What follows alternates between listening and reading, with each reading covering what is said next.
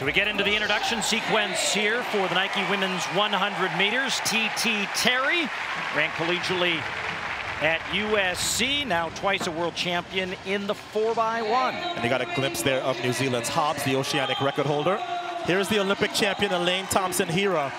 She's improved after only getting fifth at the Jamaican Nationals, all the way to 10.84 this year.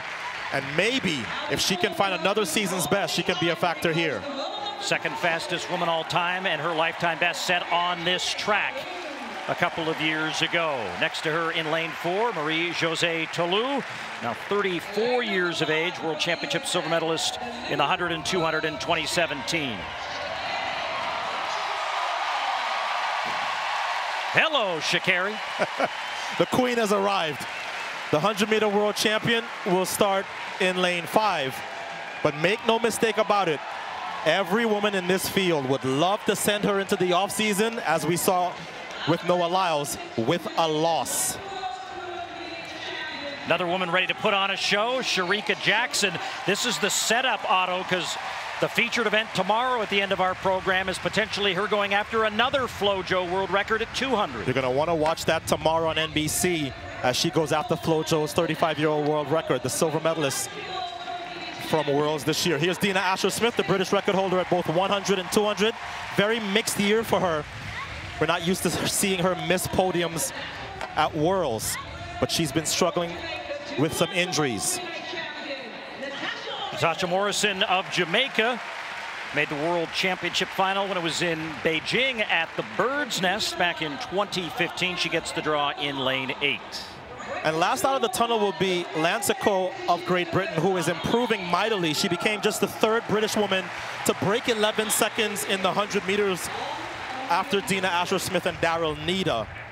And that is certainly great for her, but it also helps the British 4 by one which is always competitive. So just like we had in the men's 100, you have the world champion in the middle of the race in Sha'Carri Richardson in five, and a bunch of women who would like some revenge for not having won Worlds, not the least of whom, I think, is Shericka Jackson, who has not beaten Sha'Carri Richardson at 100 meters for the entire year. The Nike Women's 100. And they are underway. Ta Lou had a good run, but outside, it is now in the middle of the track, Shericka Jackson. Not a bad time either, 10.70. So both world champions come to Prefontaine and taste defeat from the field assembled here to face them. So Shericka Jackson gets her first win over Sha'Carri for the 2023 season. Ta Lou for second in a season's best 1075 and the Olympic champion, who many people had written off as maybe that's it for her, improves all the way to 1079 for third. And these two, we saw it. We saw it during Bu Budapest. There's so much camaraderie. And you, that celebration is because Morrison, who was only sixth, did set a personal best, though, with 10.85. Terry got a season's best as well in fifth. What they're not getting, though, Paul, and what I'm sort of looking at for tomorrow and that world record attempt in the 200 is some help from the wind. Point 0.8. Well, the men had point 0.1, the women have point 0.8. Maybe tomorrow we'll have a little bit more wind. But here's another look Shericka Jackson is fourth from the left. Sha'Carri Richardson did not get a good start and never was a factor. But Shericka recovered from an okay start by her standards.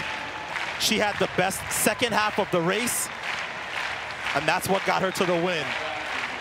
So just like the men, we will have a tie at the top of the 100-meter standings.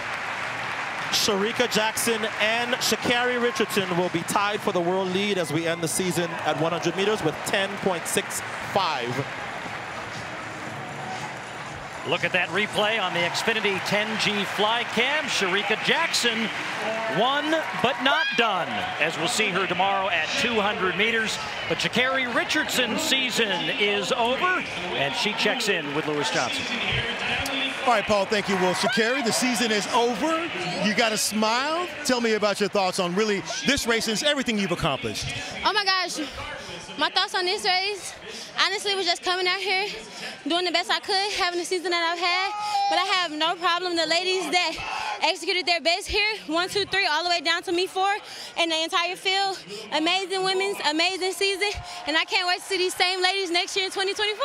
And I'm sure it's going to be a crazy matchup. Listen, we talked about your season so far, consistency and focus, the two words that Ato Boldon used. Uh, you agree with that, just on how you really made yourself known this season? I'm definitely not going to agree with Ato, but I will say, though, I agree with having great sportsmanship, having a great spirit, and having just a wholeness with yourself that nobody else can shake is what makes a great athlete and shows a great season.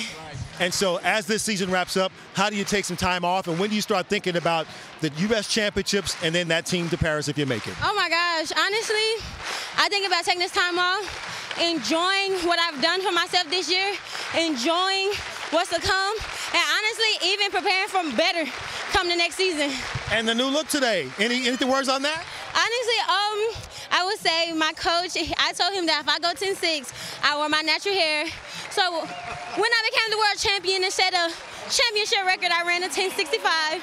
So I had to pull out the natural. All right, Sha'Carri. Green machine. Dennis Mitchell. All right. Congrats on a tremendous season. Thank you so much. Thanks very much, Lewis. One thing we can agree with Sha'Carri on, we don't always agree with Ato Boldon either, but it was a phenomenal race, and Shericka Jackson is the Diamond League champion in the women's 100 meters.